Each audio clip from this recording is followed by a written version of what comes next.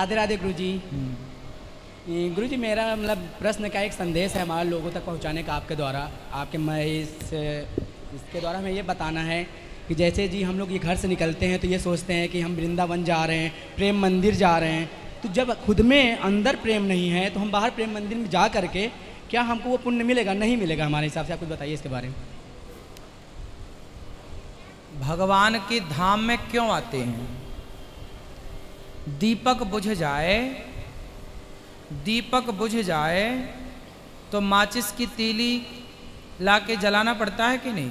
जी जी जी। ये वृंदावन वही माचिस की तीली है जिनके भीतर का प्रेम बुझ गया है।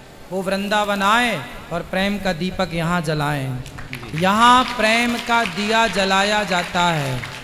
यहाँ तो भर भर के प्याले अमृत के यहाँ रोज पिलाए जाते हैं। दरबार में राधा रानी के दुख दर्द मिटाए जाते हैं। एक प्रश्न मेरा ये है महाराज जी जैसे कि क्या बोलते हैं उद्धव जैसे ज्ञानी वृंदावन प्रेम पाने के लिए आए हैं। तो जिसे प्रेम चाहिए, वो वृंदावन ज़रूर आए। महाराज जी, ये था कि क्या बोलते हैं, जैसे अभी कोई अपना छोटा है, अगर वो गलत कर रहा है तो हमको लग रहा है कि हम इमोशनल इसलिए हो रहे हैं कि मतलब जैसे आपके, हम, मेरा सीधा सा मैटर ये था कि कल हम आपके दरबार में लड्डू, वहाँ पर हम खाना खाने बैठे थे तो हमारी ये मौसी की लड़की हैं, ये पीछे रह गई थी तो हम बैठ कर खाना खाना चाह रहे थे। मतलब यहाँ पर हम झूठ तो बोलेंगे सच में वैसे भी बहुत ज़्यादा कोशिश करते हैं, झूठ ना बोलना पड़े। तो वहाँ मेरा मैटर सर महाराज जी, ये था कि क्या बोलते हैं, ये दीदी जी हमारी पीछे हो गई तो हमारा सोच ये था कि दीदी जी भी आगे बैठ जाएँ, क्योंकि वहाँ भीड़ ज़्यादा थी तो हमको महाराज जी ये कहना पड़ा, दीदी, आपने थोड़ा तेज़ आवाज़ में, दीदी जी हमारी छोटी है, लेकिन उनकी शादी हो गई, अभी हमारी शादी नहीं हुई, ये हमारे जीजा जी हैं। उसके बाद महाराज जी हुआ कुछ ऐसा था कि हमने दीदी जी को जल्दी झटका बुलाया, अरे आगे बैठो, उधर क्या कर रही हो?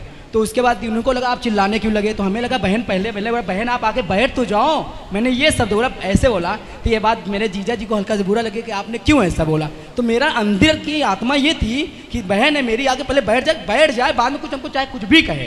तो बाद में इस बात के लिए हमारे जीजा जी गुस्सा हो गए। तो उस बात को मतलब इंटरनली बताना चाह रहे हैं कि मैं कहीं से गलत नहीं था। और उस बात को लेकर हमारे जीजा जी थोड़ा हमसे नाराज़ हो गए थे, थोड़ा सा आप हमारा मदद करें कि क्या होना चाहिए उसके लिए। भाई जीजा जी का नाराज़ होना तो बनता है। अब वो आपकी बहन कम उनकी पत्नी ज़्यादा है। जी जी बिल्कुल बिल्कुल। तो उनका अधिकार उन पर है अब आपका अधिकार कम है। जी बिल्कुल बिल्कुल। जब बहन विदा हो जाती है तो हमारा उस पर अधिकार ज़ीरो हो जाता है। लेकिन सर सत्य तो सत्य होता है ना हाँ, हाँ आप अपनी जगह सही है। जी जी। कोई बात नहीं। इसलिए साले पक्ष को ये चाहिए कि जीजा जी यदि नाराज़ हैं तो आप चुप हो जाएँ। जी जी बिल्कुल बिल्कुल। और रिश्तों में चुप रहा जाए। जी जी। ज़्यादा बोलने से और ज़्यादा सफ़ाई देने से रिश्ते और बिगड़ते हैं। जी जी जी। समाधान है कि थोड़ा सा दूरी बनाई जाए। जी। है ना? कम बोला जाए और केवल सम्मान दिया जाए। बस। और एक संदेश हम और देना चाहते हैं महाराज जी, ये चीज़ की जैसे कि हम लोग घर से निकलते हैं, जैसे हमको वृंदावन जाना है या कहीं वैष्णो देवी जाना है, हम लोग जाते हैं और रास्ते में ट्रेन पे बैठे रहते हैं। एक कोई ऐसा ही बुज़ुर्ग आ जाए या माँ आ जाए, हम ज़्यादातर लेडीज़ों को सम्मान करते हुए हम कोशिश करते हैं हम खड़े हो जाएँ लेडीज़ बैठ जाएँ। ये मेरा मतलब हम आपसे ये कहना चाहें स्ट्राइक कहना चाहते हैं कि ये बात को ज़्यादा से ज़्यादा फैलाई जाए, बताई जाए कि हमारा सही पुण्य वो है कि हम अगले को जगह दे दें, वो बैठ जाए। यहाँ पर हमारा आना कथा सुनना उतना शुभ नहीं है जितना मेरा प्रथम कर्तव्य पहले उसको जगह दे दो अगर वो उस लायक है तो। अगर एक बहन खड़ी है लेडीज़ खड़ी है तो मेरा बैठना एकदम गलत है पूरी तरीके से। ये संदेश मैं देने के लिए इस तरह मैं महाराज जी आपके दरबार में आया था बहुत अच्छा लगा। लास्ट ईयर से भी हम आए थे ऐसे आपका आशीर्वाद बना था हमेशा आते रहेंगे महाराज जी। अच्छा है। जी जी अच्छा राधे राधे आपका।